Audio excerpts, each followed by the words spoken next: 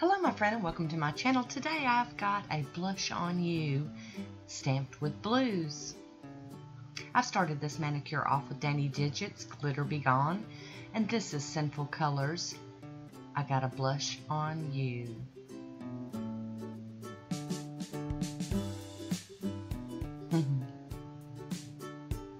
and I'm going to top this off with Posh Top Coat. There we go. My camera's kind of freaking out because it is very blingy, very bright. Um, it's not a neon, but it is, is very, very bright and very, very sparkly. This is the first coat, and this does dry down textured.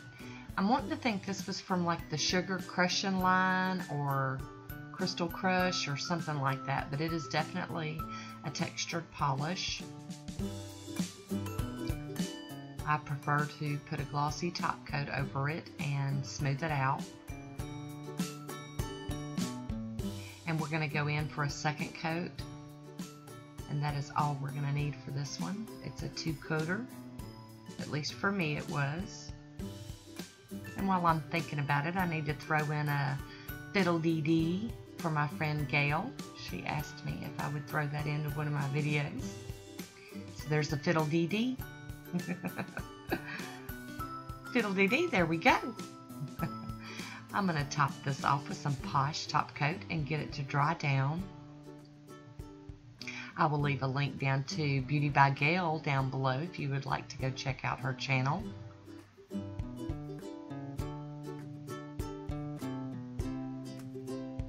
And there we go. We've got that one all top coated we're going to cap our ends. And I am going to let this dry down all the way before I start my stamping. And of course, you guys know I got to do my cleanup. Very sparkly. And here is my swatch photo of it by itself.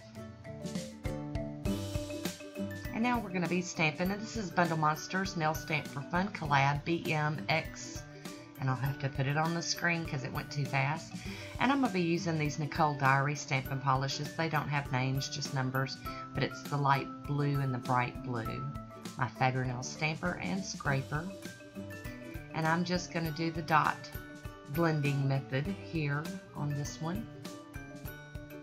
And there's no rhyme or reason. Sometimes I use two dots or three dots, and sometimes I make up, mix up where I put them.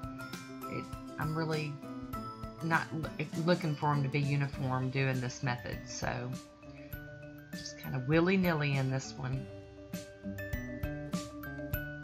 And there we go. Got that first one on there.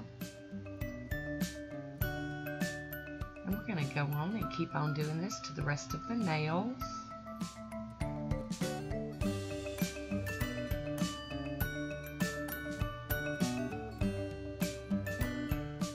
Have fallen back in love with my Fab Ur Nail stamper.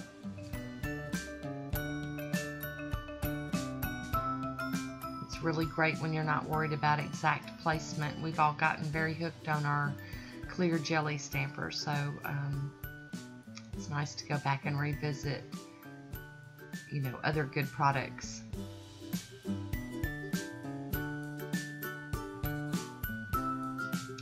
And I really do like these Nicole Diary stamping polishes. They're very pigmented. I've been quite impressed. I have been warned though that they may be temperamental in the heat under the lamps and when it does get warmer outside, so we'll see. And these both cleaned up really great with tape. I saved one nail to show you guys. Um, when I used the darker blue earlier in a manicure, I had a lot of issues trying to get it off my fingers and from the skin around my fingernails and this time it just came off like a dream. It was just perfect. So there we go. I'm going to top this one off with Pure Ice Girl on the Run.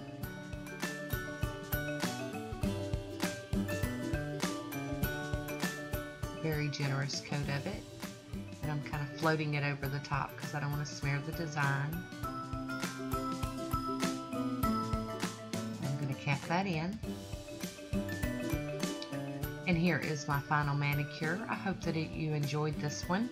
Leave me a comment down below and let me know what you think. I always love to hear from you. Here's my swatch photo. That is all I have for you today. So Fiddle Dee Dee, thank you for watching. And until next time, be good to yourself. I'll talk to you soon. Bye.